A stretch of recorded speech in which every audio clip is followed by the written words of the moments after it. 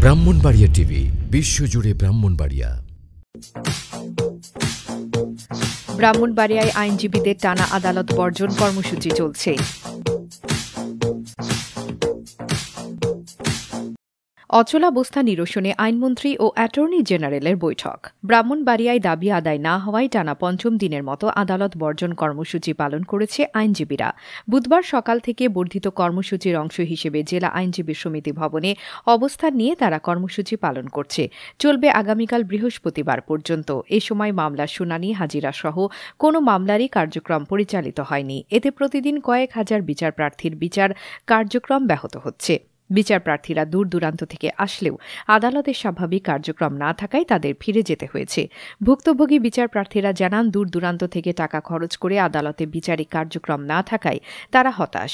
জেলা আইনজীবী সমিতির সাধারণ সম্পাদক অ্যাডভোকেট মফিজুর রহমান বাবুল বলেন, আমাদের কর্মসূচি চলমান রয়েছে। দাবি আদায় না হওয়া পর্যন্ত আমাদের আন্দোলন অব্যাহত থাকবে। গতকাল মঙ্গলবার রাতে আইনমন্ত্রী ও অ্যাটর্নি জেনারেল সহ গুরুত্বপূর্ণ ব্যক্তিদের সাথে এই বৈঠকে এই বিষয়ে আলোচনা হয়েছে।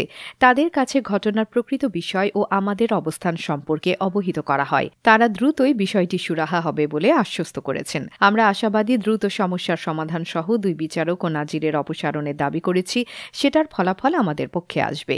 উল্লেখ্য, ব্রাহ্মণবাড়িয়া জেলা জজ শারমিন নিগার, ব্রাহ্মণবাড়িয়া নারী ও শিশু নির্যাতন দমন ট্রাইব্যুনালের একের বিচারক জেলা জজ মোহাম্মদ ফারুক ও আদালতের নাজির মমিনুল ইসলামের বিরুদ্ধে বিভিন্ন অভিযোগ এনে তাদের অপসারণের দাবি জানিয়ে পাঁচ জানুয়ারি থেকে এই কর্মসূচি পালন করছে আইনজীবীরা।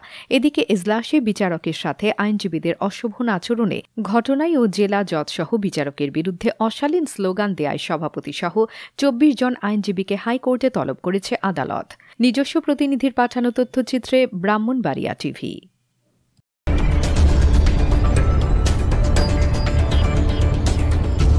ব্রাহ্মণবাড়িয়া টিভি, বিশ্বজুড়ে ব্রাহ্মণবাড়িয়া।